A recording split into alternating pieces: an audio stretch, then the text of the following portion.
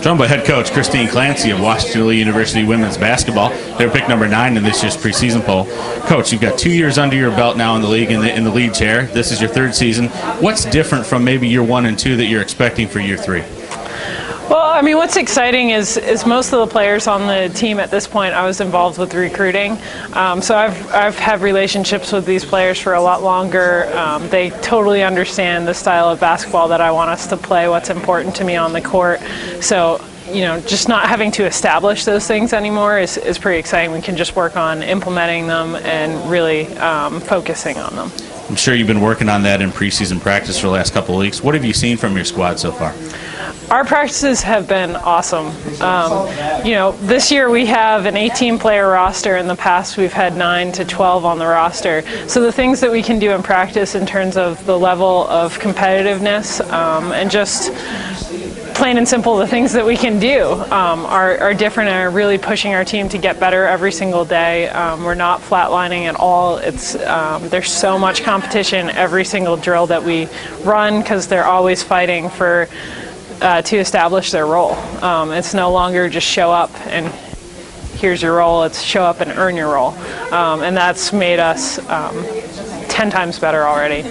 One of the bonuses inside of that 18-person roster that you have is you have all five starters back. Talk a little bit about what that means to you to be able to have that luxury going into the season. Yeah, we have the best of both worlds because we have um, everyone back from last year's team. No one graduated, no one left the program, um, and then we have a great mix of uh, five first years coming in. So, you know, having those returners, having those starters back has given a lot of continuity to the program. You really only have to tell them something once and they implement it. Um, the returners are familiar with what they're doing, so they can bring the first years along a lot quicker. Um, so it's allowed us to get a lot further along in what we've been able to do in practice to this point than we could last year. In terms of players, who are you expecting big things from this season?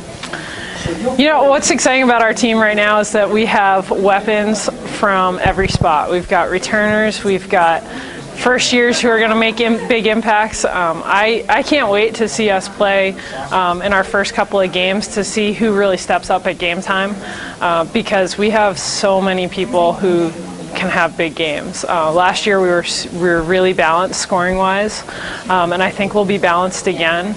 We're we're going to have some first years step right into the you know the starting five into the main rotation, who are going to put up some big numbers for us. Um, you know I'm really excited for Annie Goff. It's her senior year. I think she's going to have a really outstanding overall um, game this year. Just assists, taking care of the basketball getting some points up as well um, and just making us a better team overall. You mentioned balance a couple times, and I think that's the word for the league really this year. Nine of 18 all conference players are back. Everybody pretty much has a player that uh, you've, you've either seen or heard about before. What do you see from the league this season?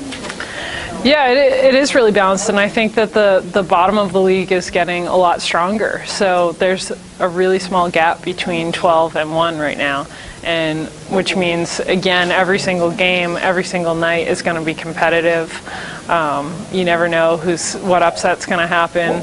You have to show up every single day, um, or you're going to find yourself in the bottom half. Well, Coach, I want to thank you for joining us today. Good luck this season. Thank you.